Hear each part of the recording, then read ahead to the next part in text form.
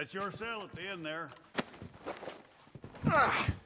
We're gonna watch you swing. What for? I didn't do anything. Nothing. Yeah, yeah. I thought you said you lost him. Well, I did, but we got him back. Oh, and James Langton's dead. We killed him.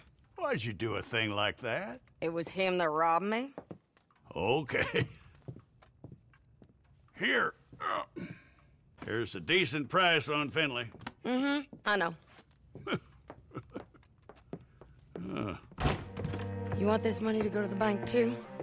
No, I'll, uh, I'll take it myself. Okay, Jim Milton. It's John Marston here. All right, well, if you need any more work, you can find me in town. Or maybe I'll find you. I'm retired. Sure.